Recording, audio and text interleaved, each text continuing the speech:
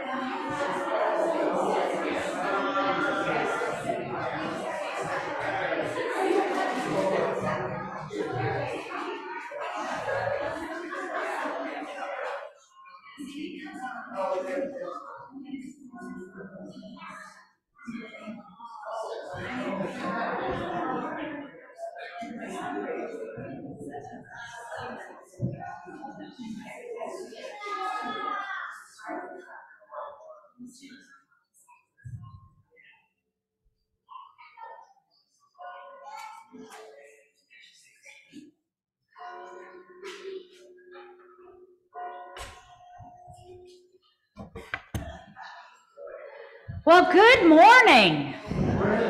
What a beautiful morning it is. I love the fact, for some reason, my uh, headset is catching here on the back of um, my collar. Uh, great morning, beautiful morning. The sun is shining. Uh, the weather is finally warming up. It is just fantastic. Could not be a better Sunday to work outside and um, green up our church, plant some flowers, spread some mulch. Um, I heard something about breaking up concrete. So if somebody comes in particularly frustrated today, um, I think uh, we know something that you can do to work that all out. Um, but uh, wonderful day to do all of that. And, and what a great day to gather together as a church family. It is wonderful to see everybody here, including some of our diaspora members, which is what I call those who, um, who are members but then go up to other places like Cincinnati.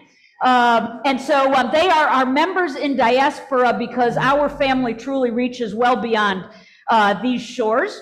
Um, we, we are um, in red today, um, even though I got things mixed up last week. Is I am so excited for Pentecost that that I just well, first of all, I also can't quite get it through my head that there are five Sundays in May for some reason. So I keep shoving the two together, the 21st and the 28th. But I love Pentecost. I, if it were up to me, we would have red on all the time, uh, and not not for the teams that you might think just just. But it gives me the opportunity to wear one of my favorite stoles that I don't get to wear enough. And, and, it's a little bit of an unusual stole. It is truly a one of a kind. I received this when I was ordained. I was still part of the fire department in Pleasantville when I was ordained. Uh, in fact, one of the guys read at my ordination ceremony. And so, as a gift, they gave me a stool, and it has the Pleasantville Fire Department emblem down at the bottom. And on the back, what's catching on my on my headset here, it says Reverend and ex and ex Captain Diane Carter. And so this is just so special, um, you know. So today is pre-Pentecost. Uh, they or Pentecost Eve, if you prefer. Um, the truth is, the Holy Spirit is an integral part of everything that we do, not only in the church, but as Christians. And so, uh, celebrating the Holy Spirit can never be done too frequently or, or too often. If you would like to see how I would love to have you dressed next week, all you need to do is turn around and look in the back row because there are some who are dressed in red so that they could be models. In fact, ladies, would you stand up so that, um, you know, everybody can, yep, see, just like that. We love that. Carol's got a shirt on as well. I won't make her stand up. Yes, yes, thank you. Wonderful. Um, so, we have a wonderful service today, um, and, um, and, nobody else has to stand up. So you can just sit down, um, relax, but I will still be listening for your voices because we are now going to join together in our opening prayer this morning. Come and learn the ways of life. Love your enemies and do good to those who hate you. We have come to follow Jesus' teaching. Bless those who curse you and pray for those who persecute you. We have come to follow Jesus' example. Jesus calls us to live as he lived. So, with his words in our hearts, let us pray. God, you are the first and the last the beginning and the end of all things. We rejoice that in you all things move and have their being, and we remember that you are our source of hope. Be present in our time of worship and be present with us in every moment of our lives. Enable us to feel the power of your love so that we will never give up and always hope, no matter what. Amen. And now I would like the kids to come up for a very special time.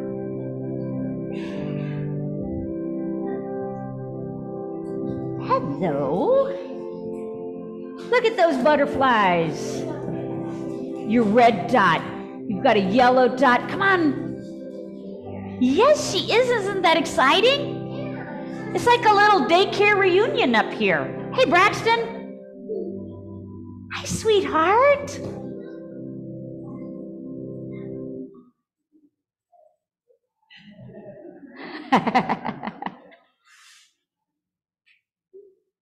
it's okay. It's the young and young at heart. Hi, how are you? Well, we're going to do something very special today, but I'm going to need a few of, of you to help me. Can you do that? Yeah. Okay, so I know a few of you know this. So here's my question What are the fruits of the Spirit? What? Very good. Look at that hand. What? What? Name some of the fruits of the Spirit, Ryan. Charity. Oh, cherry and a lemon. Yes, yes, absolutely. Those are those are how they learned them. Yes, you're absolutely right. Do you remember what the Bible says that they are? Yeah. Apples and grapes. Yes, absolutely. Does anybody remember what those remind us of? Kindness and joy and what else?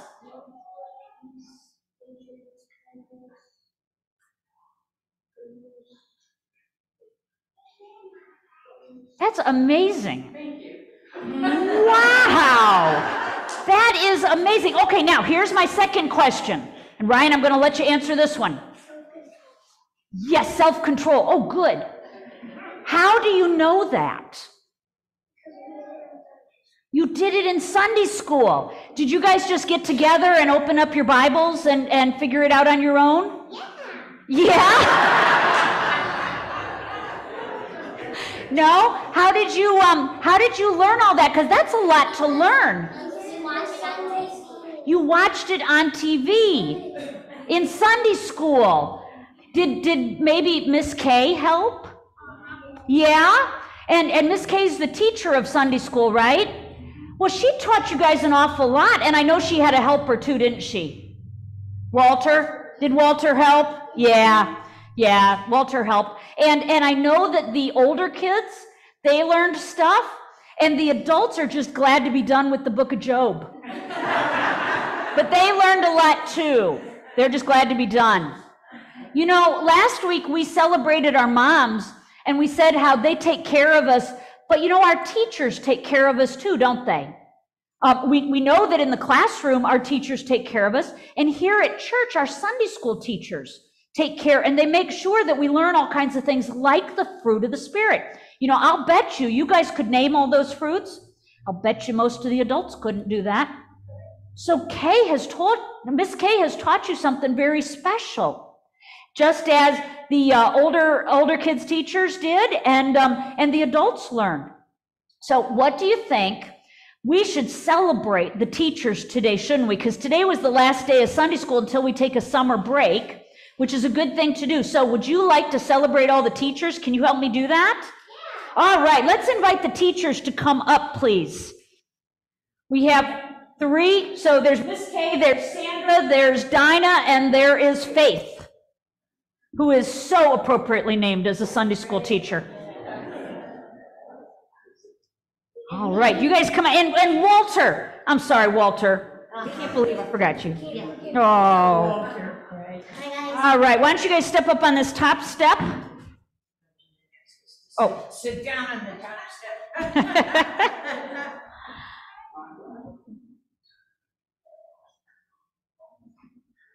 Hi. Yep. I, I will get you a sucker. Can you help me? Can you help me and, and give all of these special ladies something special? And, and dog? Can you? Well, I think I will just, um, I think I will just go ahead and do this. Sure. So we have a special gift for all of our teachers. It is, it is merely a token of everything that you have given um, to, um, to all of the kids, um, uh, young and old. Um, truly, teachers do touch the future. And in this case, the future you're touching lasts for eternity. So that's very special. We all join me and let's give our teachers a big round of applause. You clap? Do you think that the teachers should get a sucker too? How about, how about you get a sucker first? Okay. Then you think we, that we should give the teachers a sucker? Okay, there's lots. I refilled them.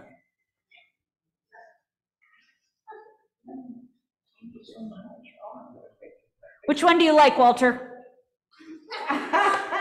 All right. And, and you got to get one for, okay, there you go. All right.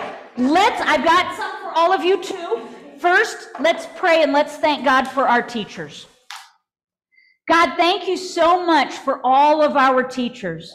Because without them, God, we probably wouldn't know as much about you as we do and as we want to. We pray that you would bless them for all the time they spend, not just on Sunday mornings, but on all of the preparation.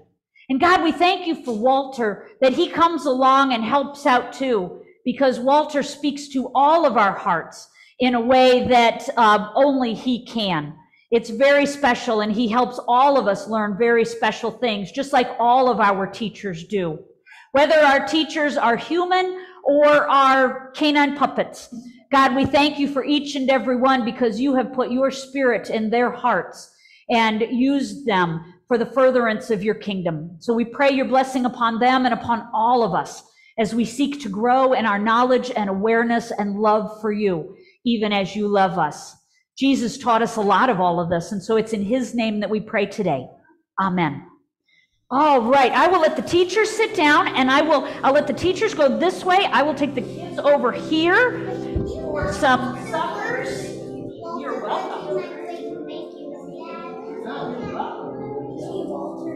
go.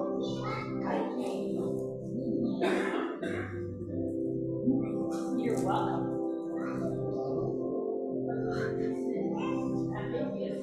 Yeah, Walter, what's what's your favorite fruit of the spirit?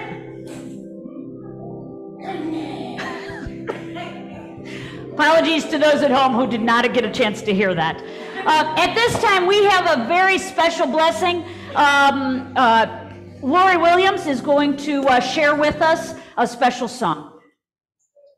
This song I thought was really appropriate because this is Ascension Sunday, when God gave us, or Jesus gave us, the commission of what we're supposed to be doing in the world, which is to spread His love and His word, then and now. So I hope you enjoy it.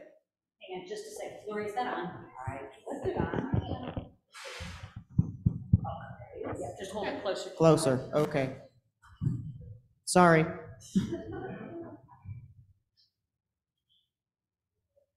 So let her be.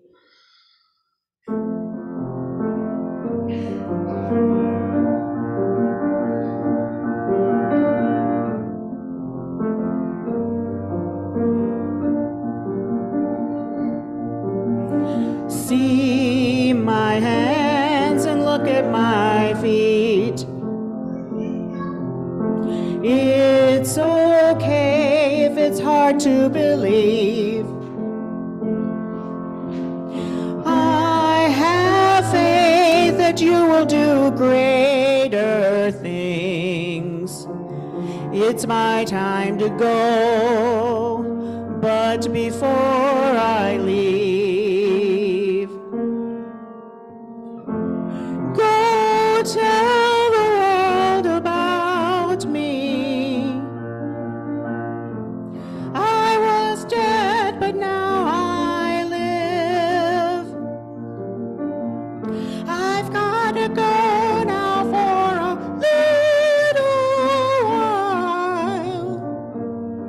But goodbye is not the end. Don't forget the things that I taught you. I've come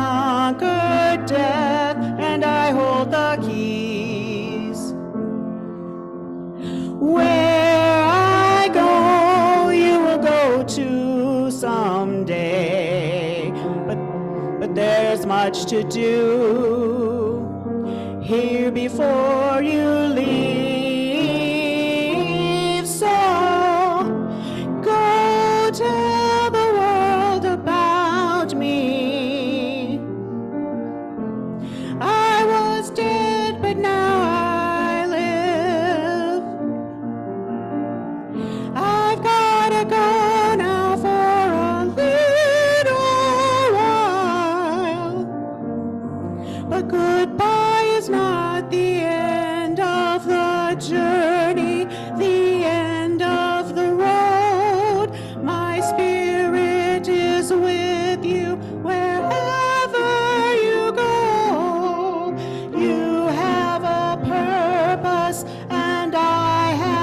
have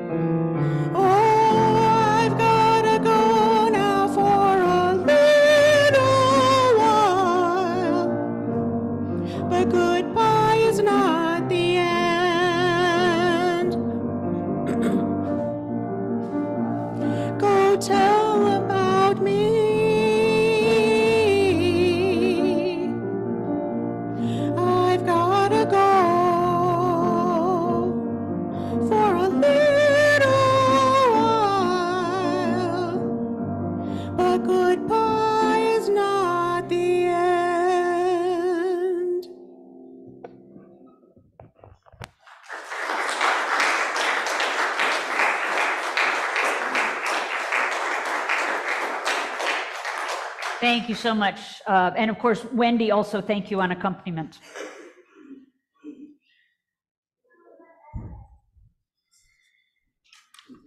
Good morning.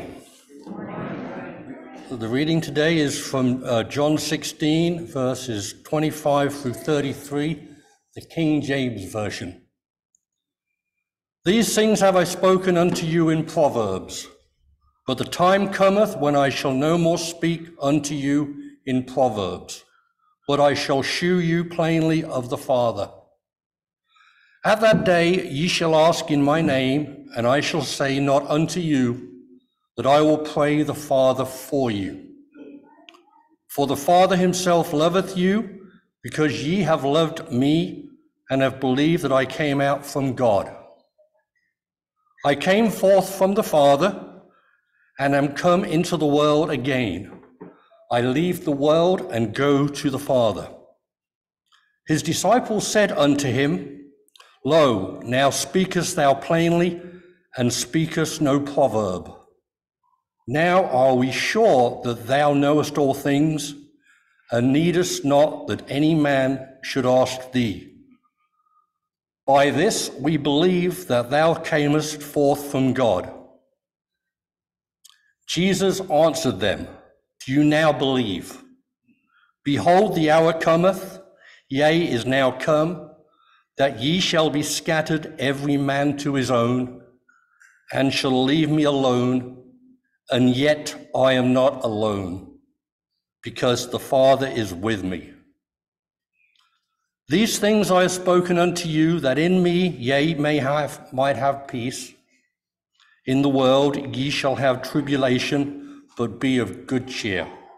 I have overcome the world. Word of God.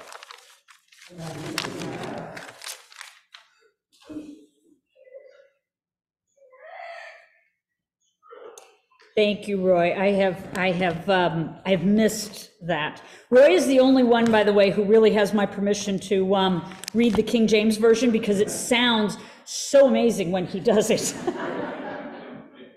Although, as we celebrated once prior, Congratulations, because I'm pretty sure Roy is the most recent United States citizen gathered here today. So once again, congratulations.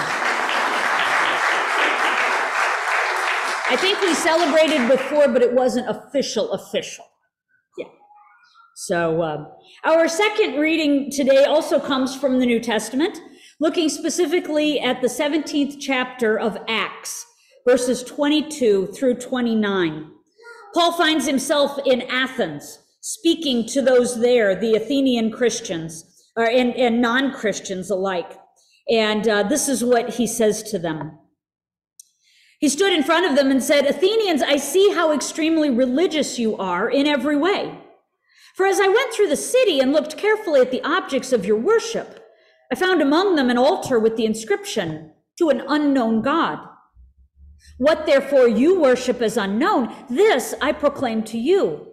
The God who made, the God who made uh, the world and everything in it, he is who, he is who, he he who is Lord of heaven and earth does not live in shrines made by human hands, nor is he served by human hands as though he needed anything, since he himself gives to all mortals life and breath and all things. From one ancestor, he made all nations to inhabit the earth, and he allotted the times of their existence and the boundaries of the places that they would live so that they would search for God and perhaps grope for him and find him, though indeed he is not far from each one of us. For in him we live and move and have our being. As even some of you, in, as some of your own poets have said, for we too are his offspring. Since we are God's offspring, we ought not to think of the deity like is like gold or silver or stone an image formed by the art and imagination of mortals. This is the word of God for the people of God. Let us pray together. God, we do give you thanks. We, we rejoice in your word because in your word is the life that we seek, not simply the existence that we have in this world, but the true life that you have created us for. This is what Jesus came to reveal to us. And this is what we find in you and through your holy word. So open our hearts and spirits today. Pour into us your holy word and through your Holy Spirit, enable us to not only discern your speaking to us, but also to know the way forward. We pray this in your holy name. Amen. I came across one of the coolest stories this week. It was originally published in Parade magazine. Remember that used to come in the Sunday paper? The story was about a sixth grade class in East Harlem, New York. There were 59 students in the class, and most of these students were either Black or Puerto Rican, as you would find even if you went to East Harlem, New York today. The seminary I went to is not too far from Harlem. And so I know as it was then, it is now, it's a rough area. I mean, you know, we didn't leave Morningside Heights. We stayed pretty much uh, where we wanted to be. And these students not only faced a, a, a rough circumstance within their lives every single day, but they faced a pretty uncertain future. And there's, there's a lot of just repeating the, the generations, repeating what the previous ones have done without a lot of hope for much of a future. The school wanted to change this cycle, and so they asked a man named Eugene Lang, whose name might not mean anything to us, but he was a self made millionaire. He's since passed on, but he had created and, and, done many, many things. And the school thought, well, maybe this guy who pulled himself up and became a millionaire on his own, not just given the money, but lived into that. Maybe he might be able to impart some wisdom, some something knowledge to these students, something that they could hang on to that might maybe in, enable them to overcome the cultural pressures and difficulties that they faced each and every day. I mean, as you might imagine, there's probably just as much pressure, if not more so, to join a gang than there is to graduate from high school in East New York, then and now. So Eugene Lang accepted the invitation and he started to work on what he would say. But as, as draft after draft ended up crumpled up in the corner, he began to wonder what he had gotten himself into. He kept thinking, what am I possibly going to share with these sixth grade kids that's, that's going to make any kind of a difference in their lives? I mean, they might hear me speak. They might be inspired in the moment, but they're still going to go back and live in East Harlem, New York. There's still going to be gunshots and murders and gang activity. There's still going to be poverty and not much hope for the future. What can I possibly do for them? Well, eventually, as is always the case, regardless of how prepared we are, the day arrived. And while Eugene Lang did have some notes carefully prepared in the breast pocket of the suit that he wore, he didn't get them out. He decided that it, as he stood in front of these 59 students, he decided he was going to scrap his notes and just speak uh, right from the heart. And what he said changed the lives of almost every single student who heard him speak today, that day.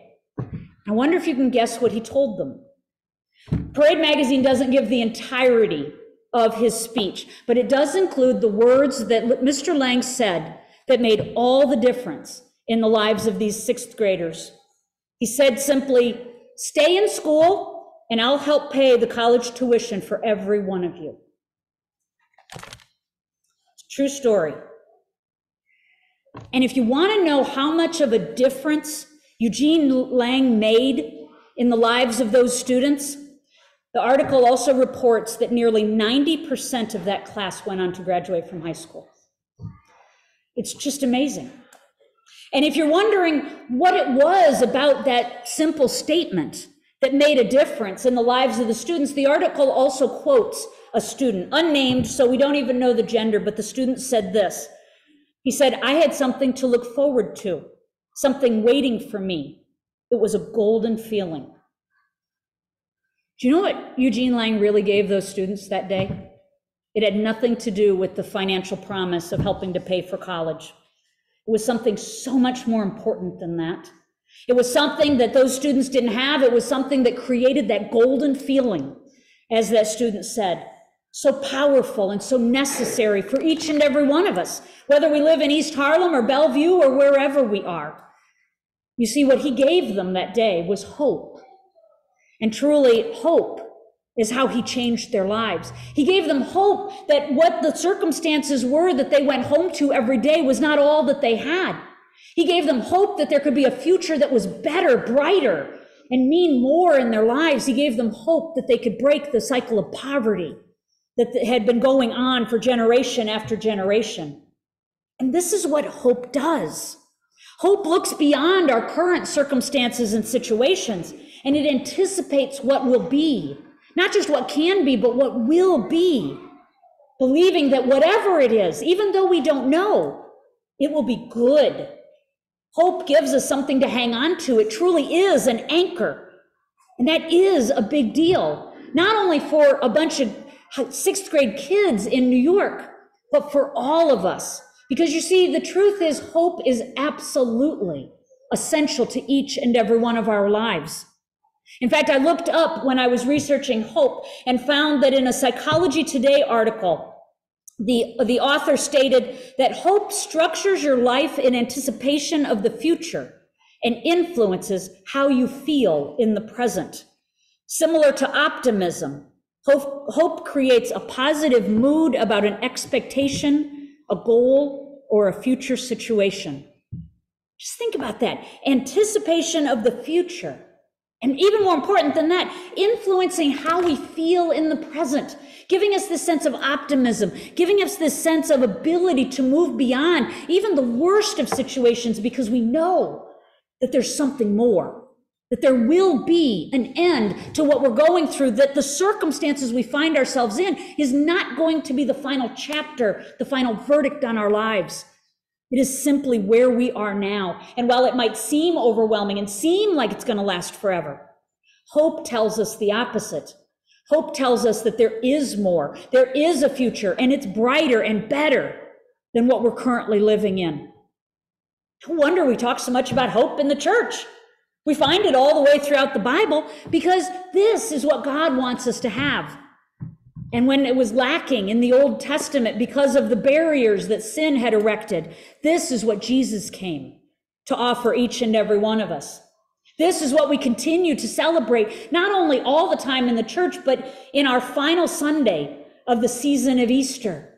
Because when Jesus emerged from that tomb, not only did he give us life, he gave us hope. Because it might just have been a round stone that had been rolled away, but the truth is, what really rolled away or came open were the gates of heaven. All of a sudden, eternity with God was possible for each and every person. That's what Jesus came to make possible for us. That's what I share with families whenever we gather to say goodbye to a loved one.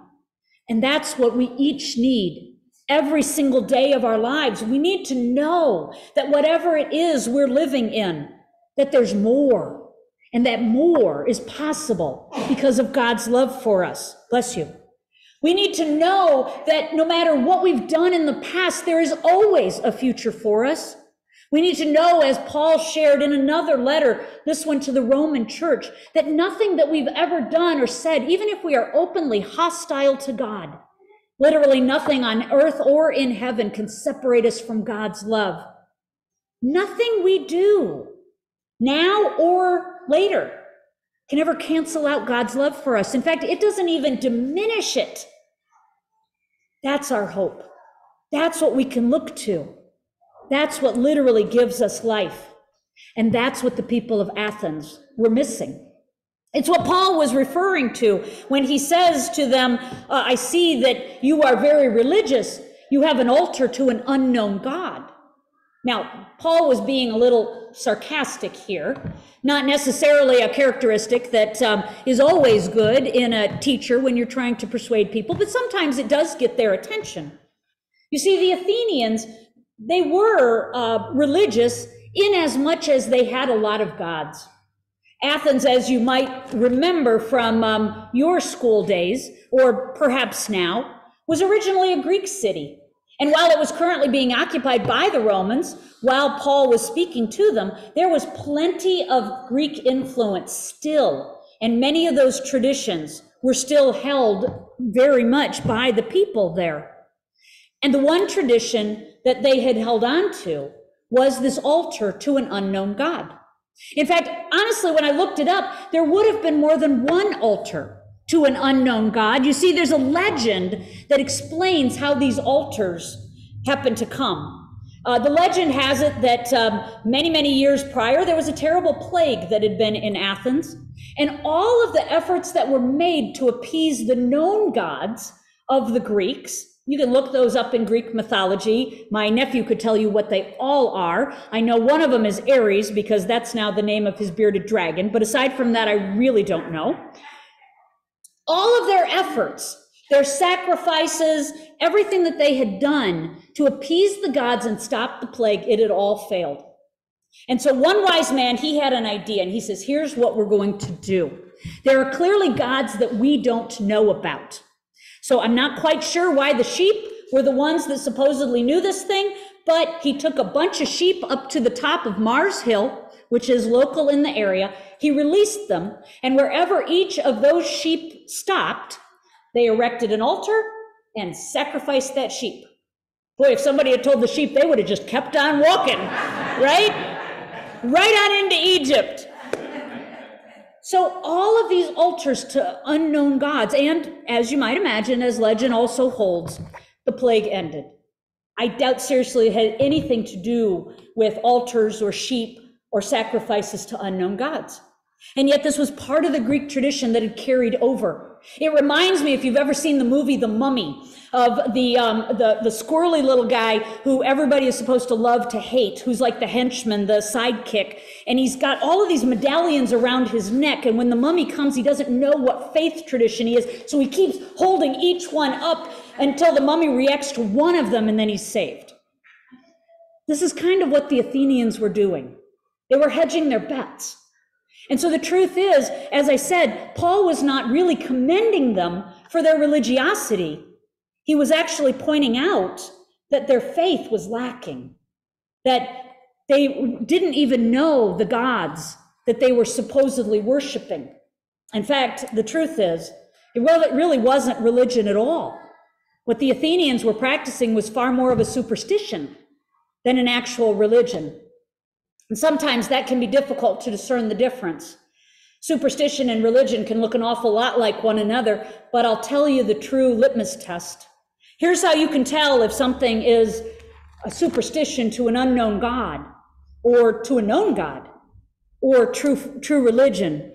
And that is that superstition is always fear based. If there's any fear based in your faith or religion, then it's not from our God.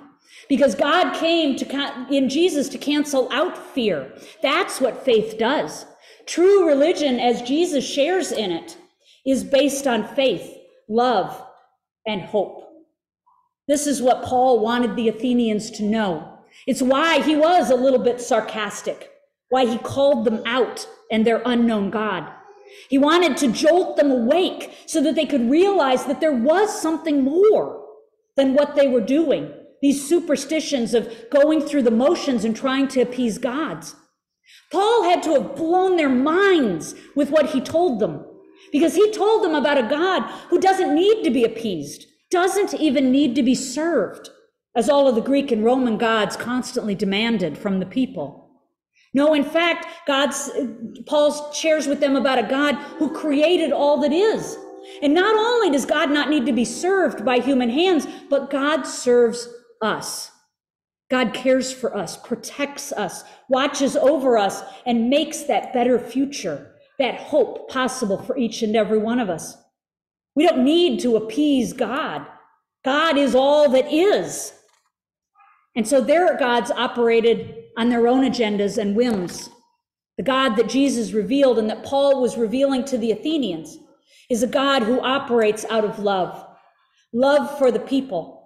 And if you ever doubt that this is true, all you have to do is look at the cross, because it was God's love for all of us that motivated God to send Jesus to the world and then to the cross. This is not a mere superstition. There's no fear in any of this. There's only love and only hope. Just imagine what the Athenians must have thought when they heard about this kind of a possibility. I dare say there was nothing like any of this in Greek culture or in Roman life. This was something entirely new. It was about hope. In a sense, Paul was trying to offer them the same thing that Eugene Lang was trying to offer to those sixth grade students. He was trying to let them know that in the true God, not an unknown God, but the true God that Jesus has come to reveal to us, there is hope. There is also peace and love. There is something that we can stake our futures on, regardless of what our presence in, in the moment looks like. There is something that we can hold on to through the storms of life, something that we can trust in, even when we can't see our way forward. All of this is what Paul was trying to share with the Athenians in those few sentences that I read for you. Because he cared about them. He wanted them to know this hope, the same hope that Jesus came to share with each and every one of us. The hope that again reminds us that God's love for us is so great that we can never move beyond it, never do anything that causes us to lose it. It will always be there for each and every one. And now, because Jesus is offering that to us, and hopefully we have received it, now we have a call on this commissioning Sunday to go out and share it with others. You know, hope is so important in our lives. I'm literally not overstating this if I say that hope is as important to our lives as breath. In fact, what breath is to our physical bodies, hope is to our emotional and our spiritual beings. You literally cannot live without hope. When I was taking my CPR class, I had a, um, a, a faith based instructor, and the person said, You know, I'm going to teach you the rule of threes. And I know those who are nurses here, don't correct me on this, it's close enough. But they said you can, you can roughly live for 30 days without food, three days without water, and three minutes without oxygen. But he said, you can't live for even three fractions of a second without hope. Hope is our spiritual breath. And it is spiritual because it comes from God. God is the source of our hope, which makes this hope even stronger and more powerful than what Eugene Lang offered to those sixth grade students. It's not merely a promise of financial assistance for college. It's a promise of eternal life. It's a promise of love overcoming. It's a promise of knowing God as God's own children. It's a promise of everything because that's what God has created us for. That's what Jesus came to restore and to reveal to us. And that's what we can claim in this hope. And that's what we're being called to share with others. You see, Jesus did come to reveal God to us and to reveal the hope that we have in God, but it wasn't just for ourselves alone. This is such a great treasure. We are never supposed to keep it to ourselves alone. We are supposed to do like Jesus talked about with the light and let it shine and share it with others. The best news is it doesn't take preaching in a pulpit or on a street corner. It merely comes by living your lives in such a way that the hope that you have in tomorrow shines forth today. Because I guarantee you, we live in a world that is desperate for hope. And if people start to see it evidenced in your life, you will not need to say a word to them. They will come to you and want to know how it is that you can get through this situation or that circumstance, how it is that you can still smile in the midst of devastation, how it is that you can even get out of bed, not knowing what's going to happen later on in the day, or worse yet, knowing what will likely happen later on in the day. Hope makes all of this possible. And so, as we are able to live in this ourselves and to truly receive what Jesus has come to offer us, let us also resolve to share it with others. Because truly, if you think that one man's words changed the lives of 90% of a sixth grade class, just imagine what the words of the Son of God can do in our world. Truly, you want the kingdom in this world as we pray for and we'll pray for in a little bit? That's how we do that. Share that hope. Let that lift people out of the darkness and despair and into the light of God's loves and promises. Amen. And now, as we leave this place, I pray we do so, even walking into an unknown future, that we walk forward with hope, knowing that wherever our path leads, God is already there. Jesus is walking right alongside of us, and the Holy Spirit is within us, making sure every step falls where it needs to as we are willing to follow. Let us go forward into the world with hope. Amen.